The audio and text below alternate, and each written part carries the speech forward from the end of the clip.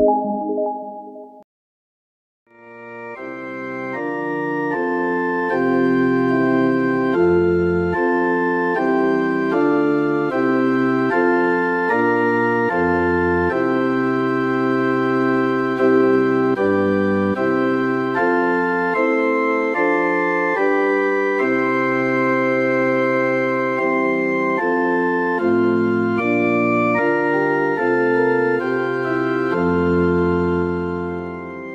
Sobat Kairos yang dikasih Tuhan Yesus Kristus, firman Tuhan hari ini menyapa kita dari kitab Yohanes 17 ayat 20. Demikian dikatakan.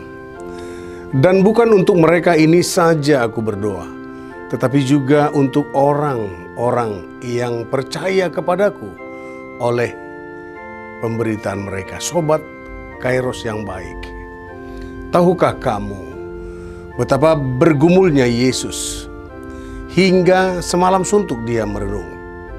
Dia menyadari bahwa besok penderitaan yang berat itu sudah dimulai bagi dirinya. Demikianlah terus hingga ke kayu salib dan kematiannya. Sebagai manusia, dia tidak sanggup. Dia berusaha agar penderitaan itu dijauhkan dari dirinya. Itu sebabnya dia menyampaikannya kepada Bapa yang mengutusnya. Dia mengatakan, "Iya, Bapa, jika sekiranya mungkin, biarlah cawan ini lalu daripadaku. Tapi janganlah seperti yang ku kehendaki, melainkan seperti yang engkau kehendaki." Sobat Kairos, tahukah kamu? Semalaman Tuhan Yesus menghabiskan waktunya sendiri di Getsemane. Di samping menyatakan keadaan berat yang akan dialaminya, dia berdoa untuk orang-orang yang dekat dengan dia, kepada orang-orang yang dikasihinya. Tentulah kepada keluarganya, kepada murid-murid yang kemudian akan melanjutkan misi besar oleh kedatangannya ke dunia ini. Supaya apa? Supaya tetap menjadi satu dengan Bapa.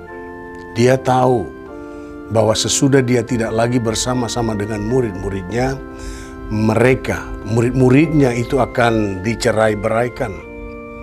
Mereka akan dibenci.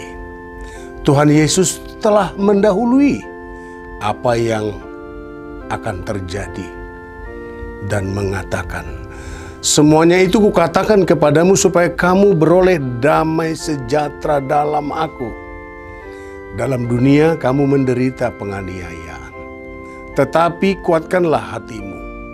Aku telah mengalahkan dunia. Yohanes 16 ayat 33. Sobat Kairos, tahukah kamu bahwa di dalam pergumulannya yang berat itu dia juga berdoa untuk aku untuk kamu dan kita semua yang saat ini telah menjadi murid-muridnya, yang telah menjadi percaya kepadanya.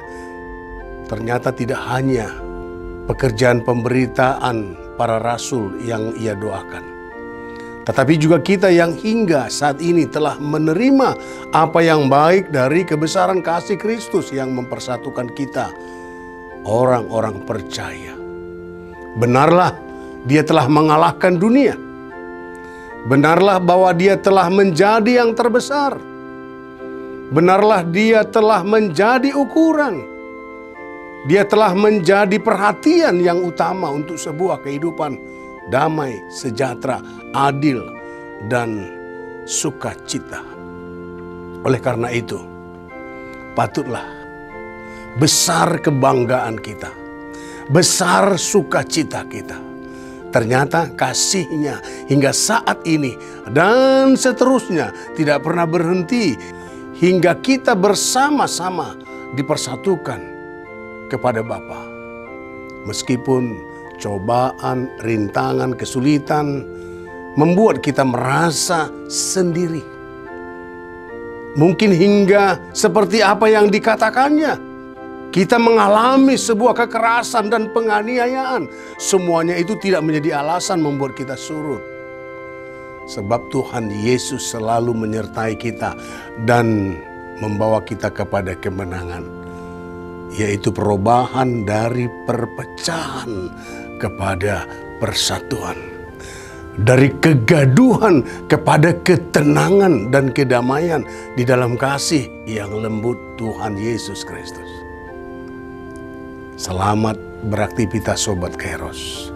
Tetaplah semangat. Tuhan Yesus memberkati kita semua. Amin.